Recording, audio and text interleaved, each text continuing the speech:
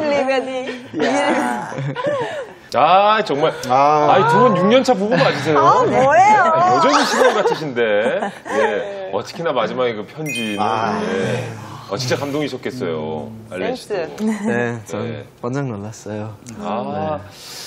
야, 이게 저 편지, 특히 아내에게서 받는 편지는 가끔 흠칫 놀랄 때가 있긴 있어요. 네, 무서워요, 받기도 전에. 그러니까. 근데 전혀 그런 감정이 아닌 거잖아요. 정말 감동의 편지였고 사랑의 편지니까 정말 경고장이 아닌. 알겠습니다. 저희가 어쨌든 두 분의 참 달달한 모습을 봤는데 아니 편지를 받았으면 알렌 씨 음? 저렇게 그냥 한 번의 포옹으로 끝나는 거예요? 근데 저도 편지 준비했어요. 편지를 네, 네, 편지 준비했어요. 하지만 내 편지요 모던 스타일이에요. 모던. 모던한 스타일. 네. 모던 스타일. 아, 사랑 사랑 사랑하는 아내게. Thanks for everything that you have done for me in all these years in Korea. After traveling to Asan, I realized again how much I love you. Really? So, let's travel more and make good memories more and more. I love you. 사랑해. 사랑해. 야, 진짜 왜 이렇게 막힌 거예요? 아, 정말. 편지보다는 여행 후기 같은 거. 한국말로 여기 있어요. 저희 다 알았어요. 네. 그, 좋은 여행 또 많이 보내시고요. 다녀오시고. 그거 쓰시려고 이렇게 거기다가 직접 얘기해도 될 것 같은데. 몇 줄 안 되는 것 같거든요. 근데 그게 아, 또 보기 읽는. 맛이 있을 것 같아요. 말로 대화로 하는 느낌보다 그거를 마치 제3자에게 전달하듯이 읽어준다면 듣는 사람에게 감동은 더 클 것 같다라는 느낌이 들어요. 네. 아, 그래요? 그러면 박광일 가이드 이 분위기를 이어서 부인께, 집에 계신 부인께 영상 편지 한번 하시죠. 네? 자, 하시죠. 영어로 해, 영어로. 어, 그 여행 프로그램 하면서 여행을 많이 못 갔는데, 어, 여행 가서 예전에 했던 것처럼 재밌게 지냈으면 좋겠네요. 어디 보시는 거예요? 아니, 카메라를. 왜 나를 아니, 어디 보시는 거예요, 지금? 안 맞잖아요. 예, 마무리 하시죠. 네. 어. 사랑해. 어, 더 이상 저희가 어색해지는 것 같겠네요. 알겠습니다. 예, 아무쪼록 이 방송 함께 하시는 많은 부부 여러분 행복하시길 바라겠습니다. 네. 예, 절대 서로 뭐 바라고 저런 편지 나는 왜 안 줘? 너는 이런 얘기 안 하는 걸로 예 하겠습니다. 자 아까 보니까 정말 아름다운 마을이에요. 지중해 마을이라고 불리던데 네. 지중해와 그 지중해 마을을 비교했을 때 어느 정도 좀 느낌일까요, 정말? 사실 그 칠한 도료나 뭐 건축 양식이나 이게 사실 큰 차이가 있다고 볼 수는 없대요. 빛의 차이는 있어요. 빛, 그렇죠. 빛의 차이. 그러니까 어, 우리 같은 경우는 도심이고 그 도심이면은 아무래도 여러 가지 뭐 가스나 이런 것 때문에 빛이 들어오는 각이나 이런 것들이 예리할 수가 없죠. 네. 근데 지중해 같은 경우는 우리 사실 무덥다고는 하는데 막 습기가 있고 이런 건 아니기 때문에 따갑잖아요. 네. 근데 그 빛들이 하얀 벽에 부딪히면 빛이 이렇게 산란을 하는 것처럼 환해요. 우린 그런 매력은 조금 좀 덜한데 그래도 지중해풍으로 마을 전체를 저렇게 꾸며놨다는 것. 그렇죠. 굉장히 좀 어, 뭐 산토리니에 온 듯한 그런 느낌. 약간 취해야 돼 대신 그 마을을 들어가기 전에 그래 나는 여기 지금 산토리냐 들어가면 돼요. 굉장히 이색적인 것 같아요. 그렇죠. 그러니까 자기 옆에 누가 있느냐에 따라서 그 여행의 분위기가 확 달라지는데 그렇죠.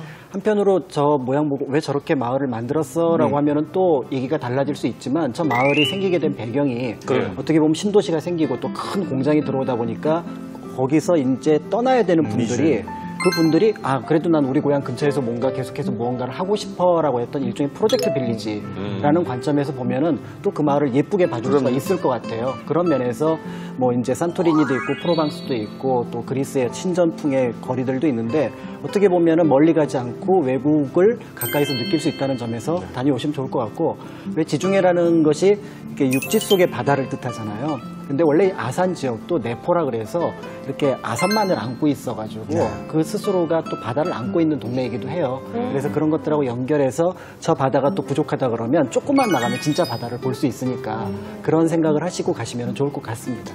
네, 알겠습니다. 또 저희가 숨은 한국 찾기 아니겠습니까? 항상 하면서 우리가 빼놓지 말아야 될 것이 한 번도 안 가보신 분들이에요. 그러니까 실은 저희가 아 여기는 많은 분들이 아시겠지 해서 빼놓는 경우가 있을 수 있지만 아예 안 가보신 분들은 거기도 또 새로울 수 있기 때문에 혹시 우리가 빼놓은 곳은 또 없을까요? 이 아산에서?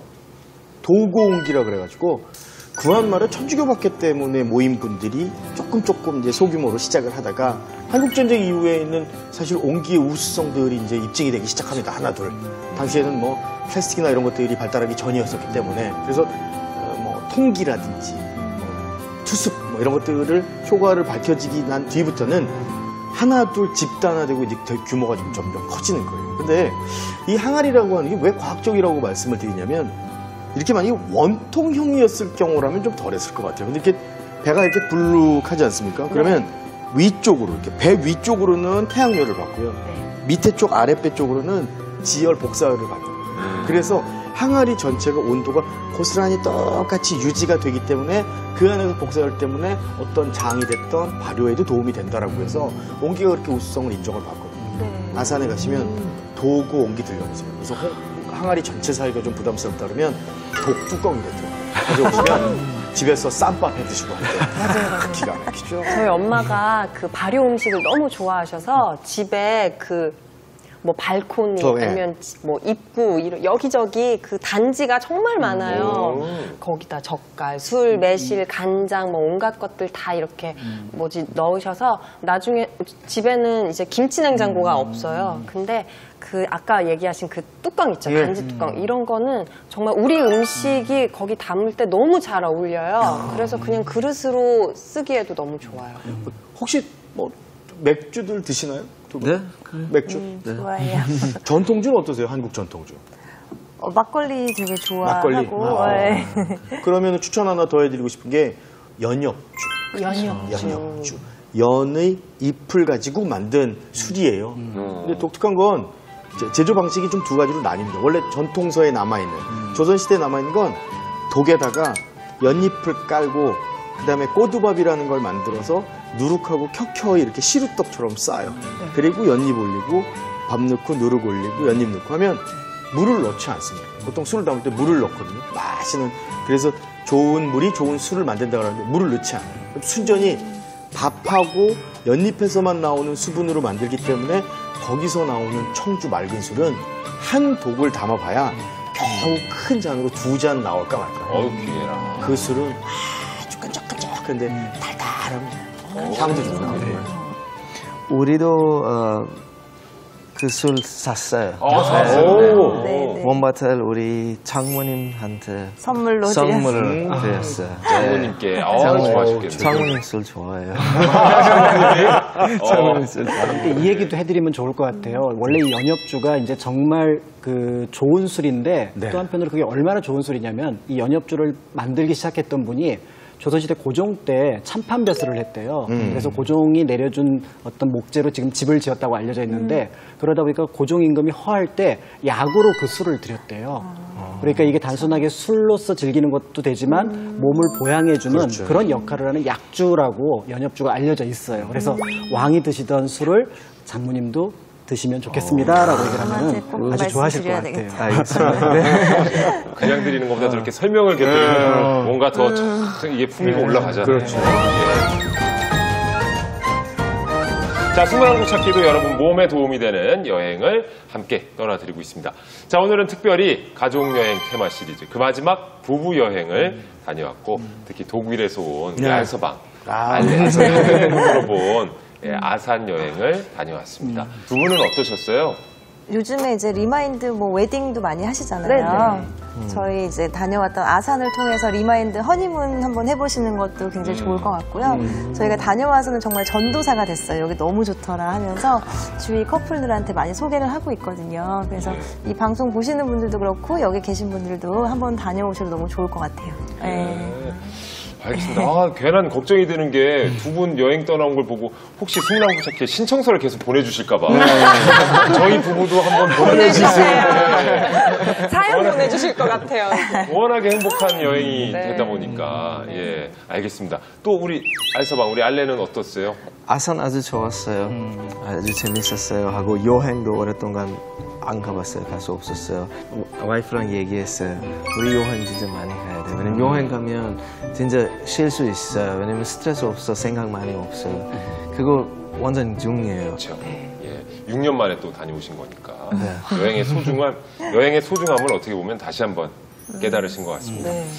자, 그렇습니다. 아, 부부 여행 정말 바쁘다는 핑계만 대지 마시고요. 단 하루만이라도 시간을 내셔서 다녀오시는 것도 좋을 것 같습니다. 저희 스물 한국 찾기는 정말 숨어 있는 또 다른 한국의 아름다움을 전하기 위해서 열심히 뛰겠습니다. 다음 주 토요일 밤 9시 55분에 다시 찾아오겠습니다. 고맙습니다. 감사합니다.